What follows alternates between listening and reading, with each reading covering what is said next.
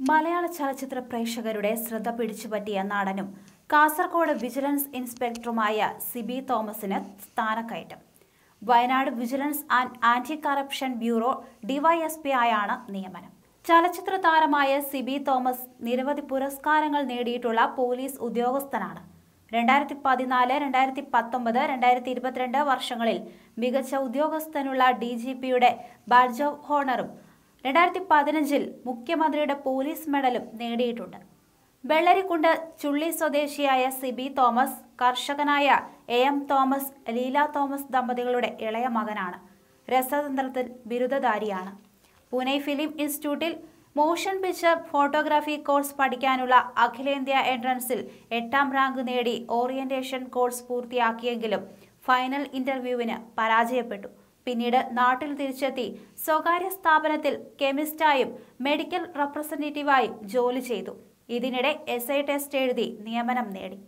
College കാലഘട്ടത്തിൽ നാടകങ്ങളിൽ സജീവമായിരുന്ന സിബി സർവകലാശാല ഏസോൺ കലോത്സവങ്ങളിൽ ഒന്നിലേറെ തവണ മികച്ച നടനായിരുന്നു.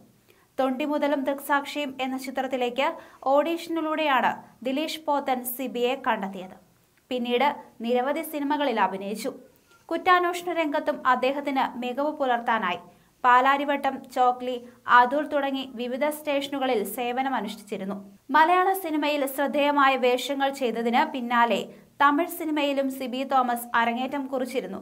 സൂര്യനായകനായെത്തിയ ജയ് ഭീമിലൂടെയായിരുന്നു സിബിയുടെ തമിഴ് അരങ്ങേറ്റം. യഥാർത്ഥ ജീവിതത്തിൽ പോലീസ് ഉദ്യോഗസ്ഥനായ സിബി തോമസ് ചിത്രത്തിലും പോലീസ് കഥാപാത്രത്തെയാണ് അവതരിപ്പിച്ചത്. ദിലീഷ് പോത്തന്റെ തൊണ്ടി മുതലും ദൃക്സാക്ഷിയും എന്ന സിനിമയിലൂടെയാണ് സിബി അഭിനയ രംഗത്തേക്ക് എത്തിയത്. ചിത്രത്തിൽ സിബി ചെയ്ത വേഷം ഏറെ ജനശ്രദ്ധ നേടിയിരുന്നു. പ്രേമസൂത്രം കാമുകി ഒരു കുപ്രസിദ്ധ പയ്യൻ ഹാപ്പി സർദാർ എന്നീ സിനിമകളിലും അദ്ദേഹം അഭിനയിച്ചു. രാജീവ് രവി സംവിധാനം ചെയ്യുന്ന കുറ്റവും ശിക്ഷയും എന്ന ചിത്രത്തിലൂടെ അദ്ദേഹം തിരക്കഥാകൃത്തിന്റെ കുപ്പായവും അണിഞ്ഞിരുന്നു.